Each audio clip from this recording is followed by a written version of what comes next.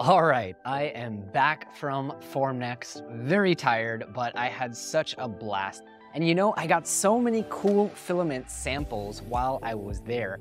And I love filament stories. I don't know if you follow Courtney at Filament Stories, and she did something really cool when she came back from MRF, the Midwest RepRap Festival, that I thought, you know what? I probably got some different filament samples than she did. I thought it would be really cool to walk you all through and tell you a little bit about each one of these filaments and uh, just see what's out there and what's new in 2022 when it comes to 3D printer filaments. So stick around and we're gonna dive through each one of these filaments. I hope you enjoy it.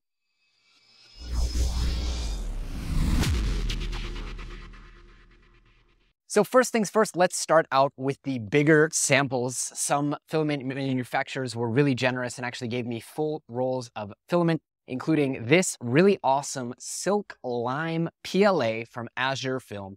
What's cool about Azure is they actually make everything in-house, including the spools and even the manufacturing machines, the extrusion machines to produce this filament. Really, really cool. And I'm excited to print. I love lime greens and I love oranges and all these kind of fluorescent colors, and this is the only fluorescent silk green that I've ever printed with.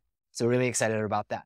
Another roll that I'm really excited about is from Rosa 3D. This is a company that manufactures, again, 100% of their filament is fully made in Europe, just like AzureFilm, which is really, really cool. And what's unique about them is that they are the only manufacturer making these color gradient filaments right in Europe.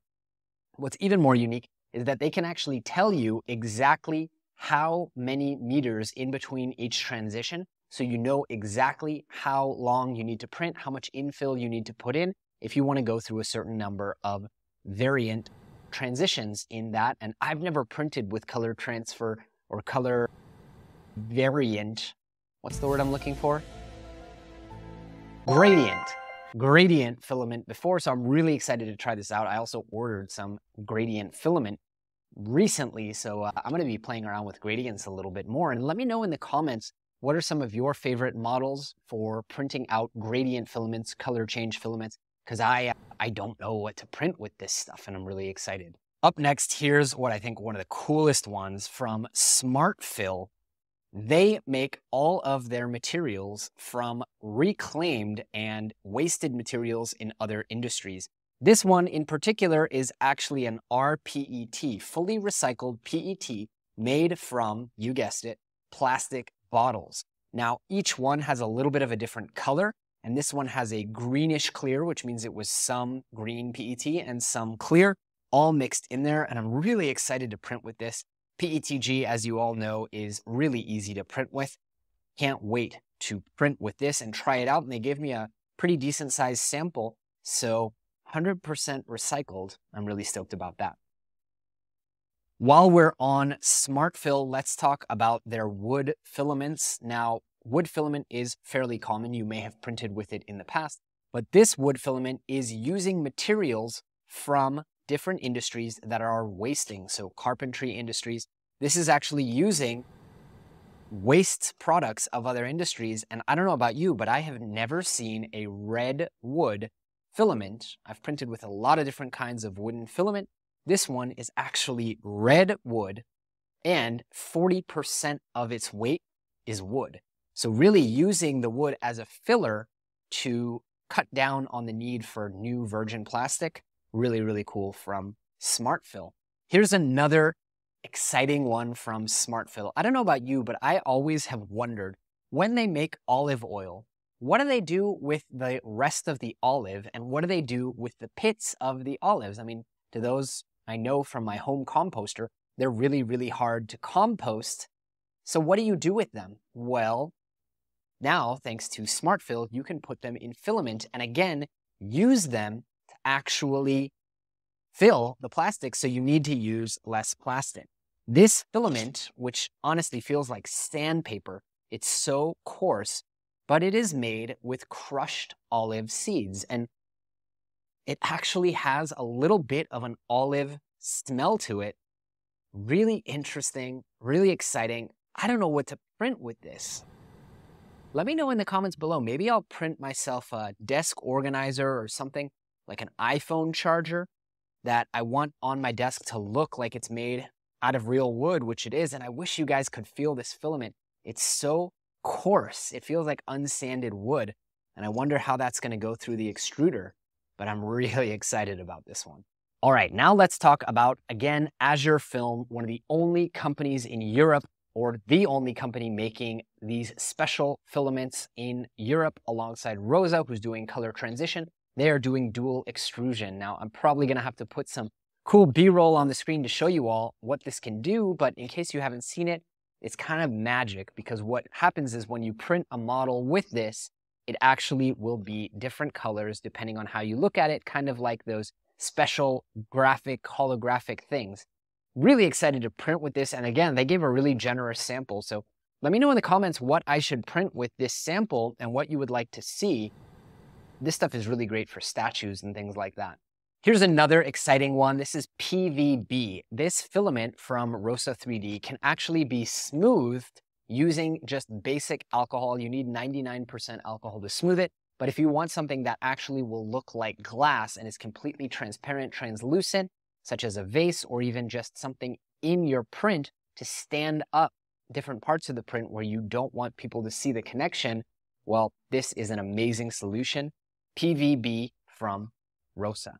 All right, we've got some here that are less exciting than others, but still exciting. We've got an orange TPU from Rosa, which I'm really, really excited about. I love TPUs. I love printing with flexi filament. This is a pretty hard one at 96A, but I'm excited to print with it because I have only ever printed in three or four different colors of TPU, and I think this is going to be really cool to print with. We also have just a basic orange ABS, again from SmartFil. This one I took honestly because I love the color of the orange, and it will be perfect for my hexagon honeycomb wall. I think it'll match some of the other filaments that I've used for creating the brackets on that wall. Let's go back real quick to the recycling filaments because this is such a cool one. This is fishy filament, specifically made by Fillamentum, which has a lot of different really cool products. Some of you may know that nylon fishing nets are just discarded in the oceans by fishermen once they have gone past their prime, and that is what's making up so much of the different plastic waste in the ocean. Well, someone out there, I believe Fillamentum, had this idea that, hey, nylon is actually a really expensive, really strong material. What if we just recycled that? So they make this. Now, what's cool about it is that color will change depending on where the fishing net is sourced. Different fishing nets have different colors, so they blend in with different waters from around the world. And this filament, well, it comes in this color because of where they are sourcing the used fishing nets. Now, I know from watching filament stories that you need to dry this really, really well.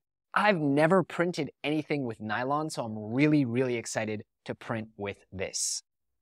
All right, while we're on filaments that I've never printed with, check out this carbon fiber PETG from Rosa 3D.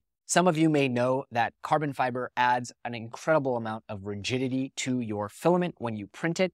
It does require printing with a hardened nozzle or a ruby nozzle, but I have plenty of those. And I've never tried printing with this before. I'm not sure what I'm gonna print with it. I took two different samples so that I have enough to print functional part because really this is made to be used for functioning parts. Let me know in the comments below what I should print with this.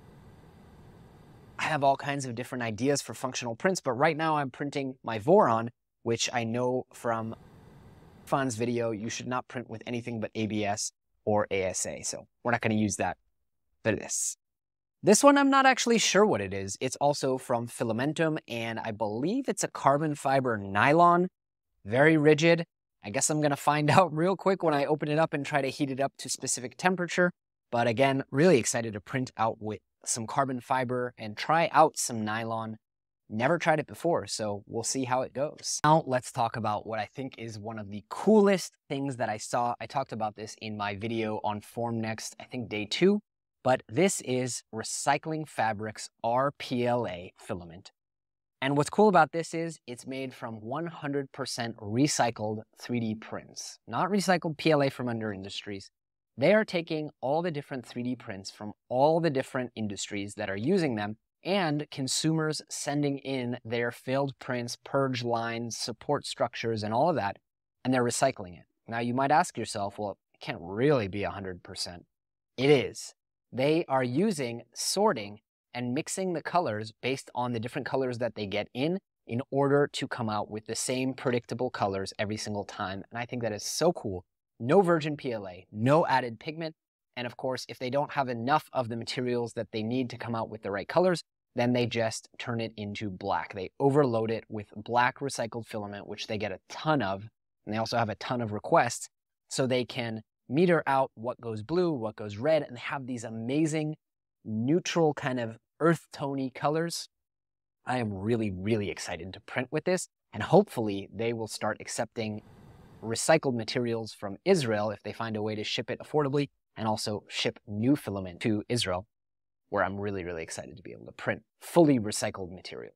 We have here another color transition from AzureFilm. Really, again, excited to try this out for benchies and just cool uh, models. I don't have enough maybe to print a bust, which I think would be really cool with this, but maybe I'll pick up some rolls of this AzureFilm for printing busts and different decorative parts.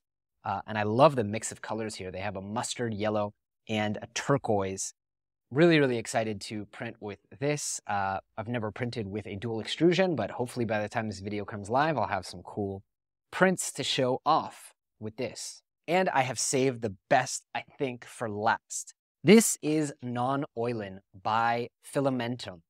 This is a really cool product because it uses no oil or petroleum or gas products whatsoever. It is pure PLA with additives to make its temperature significantly higher. So it can withhold and withstand higher temperatures than standard PLA which means that you can actually use it for different applications around the kitchen. Now, I know what you're thinking. It can't possibly be food safe, but it is. It actually is certified food safe in the EU. And as long as you get the right surface finish, sanding it down, getting rid of the micropores, they had in their booth an espresso cup that you could use made out of PLA. I think this is so cool to see these possibilities and Am I going to make entire kitchenware sets out of it? No. But it's probably going to be really, really useful if I want to make a custom spoon or fork and know that this has no toxic petroleum products in it whatsoever. I think that's awesome.